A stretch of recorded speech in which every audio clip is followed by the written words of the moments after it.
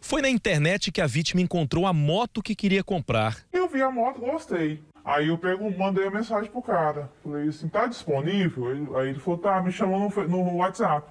Ele me mandou o telefone, adicionei ele no meu WhatsApp, comecei a conversar com ele. Toda a negociação foi feita por aplicativo de conversa.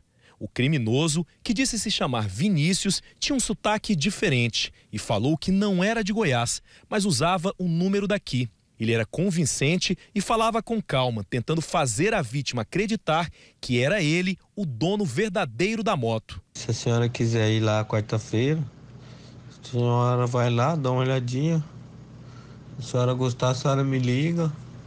Aí eu mando a conta para a senhora, a senhora faz para mim o valor, confirmando que o, o valor na minha conta, eu já autorizo ele já preencher o recibo e liberar a moto para você. Interessada na moto, a mulher então começou a negociar com o falso vendedor. Ele tinha todas as informações sobre o veículo, porque simplesmente copiou tudo que estava no anúncio feito pelo verdadeiro dono na internet. O criminoso disse para a mulher que a moto estava aqui em Senador Canedo. Ela então saiu do trabalho e veio até o Canedo para ver de perto o veículo. E aqui ela encontrou a moto, a mesminha, que estava sendo anunciada na internet.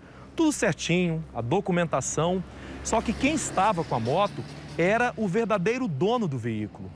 Mas o bandido havia orientado a vítima a não contar nada para esse suposto primo. E assim ela fez. A negociação então se seguiu. E foi nesse momento que a mulher, junto com o dono do veículo, decidiram ir ao cartório.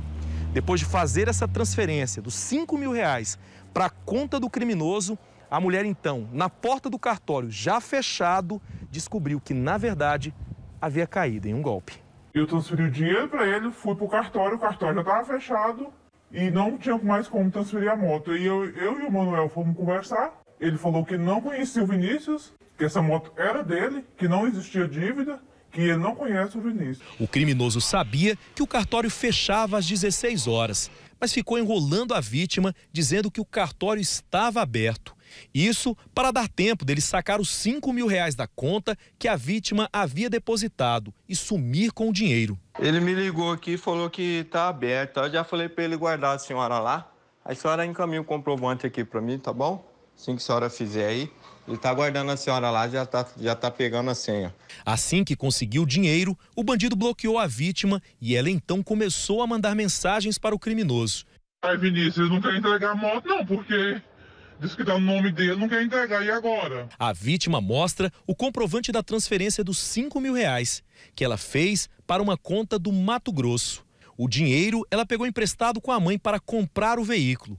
Ela conta que o prejuízo não vai ser só de 5 mil reais, pois agora ela precisa pagar o empréstimo que fez com a mãe para comprar a moto. Ou seja, um prejuízo de 10 mil reais. A mulher já procurou a polícia e fez o boletim de ocorrência, mas acredita que nunca vai ver a cor desse dinheiro. Ela acha que foi ingenuidade da parte dela fazer um negócio assim. O caso sirva de exemplo para todo mundo, né? Que tá caindo nisso aí, que eu sei que não é só eu cair. Muita gente. O meu acho que foi o mínimo, né? O pouco. Tem gente que é mais do que eu.